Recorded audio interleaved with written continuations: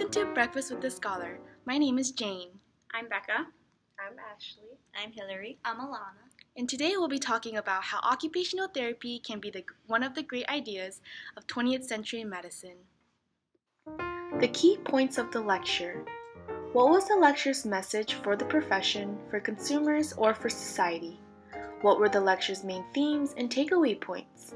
How do these relate to the philosophy of the profession? So, our lecture's message was to focus on the critical appraisal of the essential worth of occupational therapy as a profession and whether occupational therapy is a service vital and unique enough for medicine to support and society to reward. The hypothesis upon which occupational therapy was founded by early founder er, early founder states that man, through the use of his hands as they are energized by mind and will, can influence the state of his own health. This is found on page 6. The lecture's main themes and takeaway points included how the role of occupational therapy would become more defined in the years to come once occupational therapy as a profession could identify the drive in man for occupation and how practitioners would continue to shape their services to fill that need. Future occupational therapy practitioners should push themselves to find ways to think and act upon how they would fill that need in their daily practice. Occupational therapy was a magnificent medical has a magnificent medical purpose in that practitioners belong to a profession that require the mind to look at the history of man's achievements throughout civil, civilization. Occupational therapy requires practitioners to apply knowledge to help individuals and influence their health and well-being. These themes relate to the philosophy of the profession in that occupational therapy is pushed towards optimizing the ability of people to perform the activities that they need and want to do each day and thereby participate fully in society. This lecture advances the notion that occupational therapy as a profession and occupational therapists as practitioners should continue to strive towards defining themselves better as a service that prov- proves to be vital and unique enough for medicine to support and for society to reward. Historical context. What were the major historical and or political and societal events that influenced the lecture? How did these events impact OT practice and spark the lecturer's thoughts or motivations? There were many historical events, both social and political, that influenced Mary Reilly's Slagle lecture. From 1900 to 1920, there were a number of reforms in both the mental health community and occupational therapy that move towards a more patient centered, holistic, community based, and comprehensive approach. Treatment for mental health disorders at this time included crafts such as weaving, basketry, and pottery. Similarly, George Edward Barton used recreation as a treatment for his own tuberculosis. The Great Depression of 1929 allowed OTs to discover the direct need between occupations and psychological disorganization, as stated on page 11 of our article. The Great Depression caused a decrease in job availability, which caused a decrease in psychological organization. The mentality of not having an occupation proved to be greater than the monetary loss. The mind needs external stimulation, and the Great Depression showed that human nature does not thrive in idleness. During the war of ni- during the 1940s, war veterans returned to the U.S. after World War I, requiring the aid of prosthetics, assistive technology, and compensatory techniques. OT is still greatly influenced by the medical community, however, beginning to lead towards holism. In the past few years, there have been an influx of social and political events that have affected Reilly's Slagle lecture. Social reform included the civil rights movement, as well as Lyndon B. Johnson's The Great Society, which was put into place with the goal of eliminating racial injustice and poverty. Community based living is highly regarded, and the focus of OT was on education and school based practice. Furthermore, social reforms included education for handicapped children and the closure of large scale mental institutions.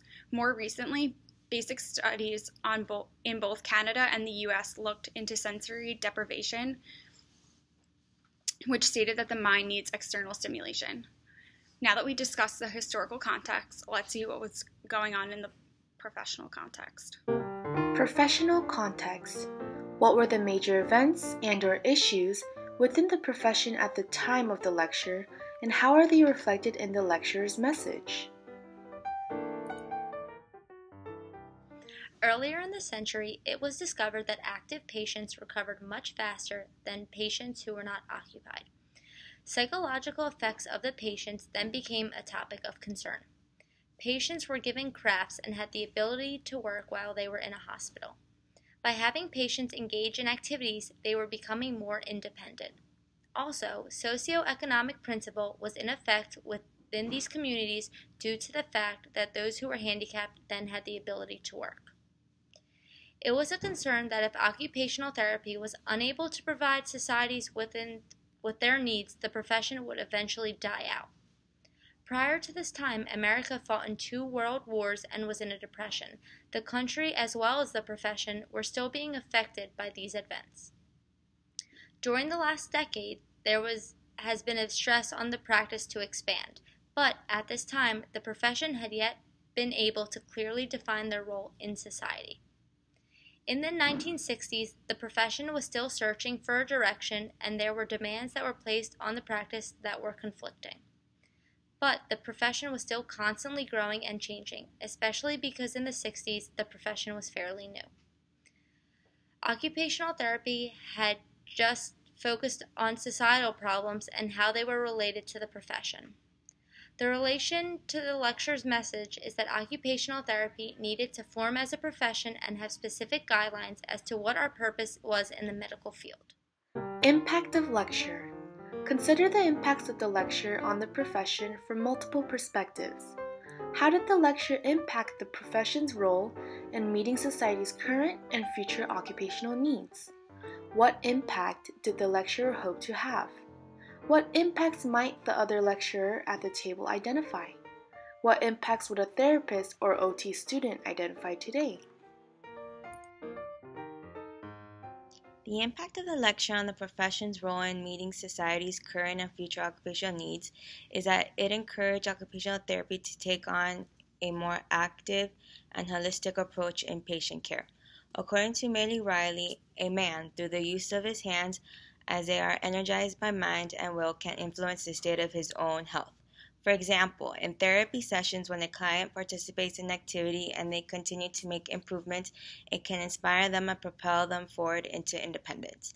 The impact the lecturer hoped to have was that she wanted to set the direction for occupational therapy, as it was still a pretty new profession and still defining its role in medicine. She wanted occupational therapy to be more than just a physical aspect of care.